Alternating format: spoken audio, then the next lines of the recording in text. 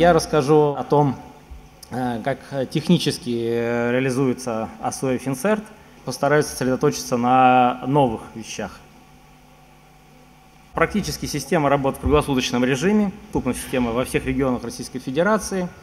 Значит, количество участников, ну, коллеги предложили скромно указать 600, на самом деле их уже сейчас гораздо больше. Значит, мы планируем в 2019 году, что подключение будет до 3000 человек. То есть э, нагрузка э, на систему, э, ну как бы возможность по нагрузке системы сделана с большим запасом, так что в общем на текущий момент у нас все хорошо и в перспективе тоже. До 300 запросов в сутки мы получаем и значит, до 70 бюллетеней выпускаем в месяц, выпускает Финцерт в месяц. А, значит, здесь представлены показатели назначения для системы э, на вторую очередь. Ну, по количеству показателей, если сравнить с первой очередь, они просто там увеличились в разы, э, там по количеству, значит, э, СУ там и так далее. Значит, важно отметить, что здесь во второй очереди мы реализуем возможность принятия приема на исследование грязного трафика с целью выявления всевозможной вредоносной активности – значит, показатели вот они здесь указаны, значит, там до 1 терабайта в год. Э, система обладает достаточными э, мощностями для переваривания такого объема. Ну и мы ожидаем, что количество участников в системе достигнет 10 тысяч человек. На самом деле, по своему опыту общения с другими организациями небанковской сферы, могу сказать, что бюллетенями, которые выпускает Финсерт, пользуются достаточно активно, в том числе в организациях энергетики, есть ряд клиентов, с которыми мы работаем, и мы как бы из другого источника получаем те же самые бюллетени. То есть это говорит о популярности системы не только в банковском сообществе. Здесь указаны ключевые продукты прикладного слоя, которые используются в рамках АСО и. Система состоит из двух как бы, э, слоев. То есть первый слой – это слой инфраструктуры – то есть инфраструктура хранения, доставки информации, обработки, деления по контурам э, внешней, внутренней, портальная часть и так далее, и так далее. И есть, как бы, собственно говоря, прикладной слой, который реализует основные значит, э, э, прикладные процессы. А большинство решений, которые здесь используются, это решения компании Positive Technologies. А мы считаем, что это очень удачный выбор, который сделал заказчик. Значит, это, в общем, один из лидирующих вендоров российских на российском рынке. Э, продукты э, показывают свои отличные характеристики. Более того, в рамках реализации ASOF Insert компания активно дорабатывает эти продукты, что, в общем, нас как интегратора, ну, надеюсь, и заказчика тоже очень радует. Здесь и дальше я поговорю о некоторых ключевых моментов, которые э, в технологическом слое будут реализованы в FinCert 2. Взаимодействие с использованием API. Э, значит, мне в куларах уже спрашивали значит, относительно того, значит, когда, что будет доступно, недоступно и так далее. Значит, проект реализуется в соответствии с теми контрактными обязательствами, которые есть у компании ABS. Срок завершения контракта в полном объеме, как Сергей говорил, мы ориентируемся на конец года, но мы ориентируемся на то, что э, с лета уже активно можно будет использовать API. На самом деле, э, так как э, Insert используется, использован для создания прототипа FID антифрод, то те банки, которые взаимодействуют с FID антифрод, они уже имеют возможность использовать это API. Так что ну, по сути, это некое лукавство. Там, да? То есть, да, API уже доступно. Там, ну, просто а, в рамках а, FID антифрод оно как бы более узкофункционально, в рамках FinCert он существенно шире. Так что техническая возможность для этого уже есть сейчас, вот, но полноценное, полнофункциональное использование API будет немного позже. Предполагается возможность работы э, в дуплексном режиме, то есть э, выдача, отдача информации от участников FinCert и, соответственно, отдача информации обратно. Э, то, что будет отдаваться э, из Финцерт э, участникам, это ИОКи, бюллетени, фиды, значит, ну и все это будет значит, возможность отдачи значит, в формате JSON.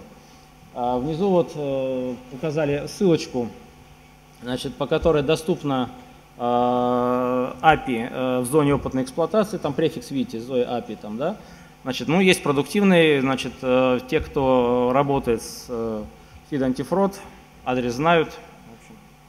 вам эта информация доступна. А, взаимодействие с госсопкой. Значит, сейчас а, возможности взаимодействия между участником ОСО и СОПКой очень, так сказать, разнообразны, причем они могут осуществляться в обе стороны. Значит, а, участники могут а, отдавать а, в госсопку через Финцер данные, участники могут эти данные получать из госсопки, Значит, участники могут взаимодействовать с Финцертом и обратно, Финцерт сам может взаимодействовать с Госсопкой и обратно. То есть все эти механизмы, они как бы здесь реализуются. Значит, реализуются они уже в режиме как бы автоматического обмена. То есть, э, опять же, система ориентирована на переваривание большого объема информации, и э, это касается в том числе и транспортной функции при передаче информации в госсопку. Это новый функционал, который будет именно во второй очереди. Значит, вот в те виды информации, которые указаны сверху, значит, э, э, то, что готова система отдавать, это вот будет реализовано. Это вот то, что я говорил про лето, про начало лета.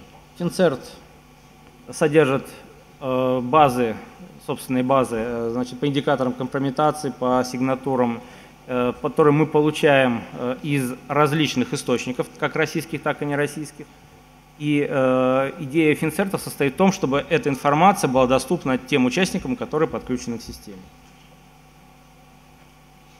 Как уже было указано, э, информация, которая исходит от Финцерта, и так подписывается э, электронной подписью э, ОСО Финцерт.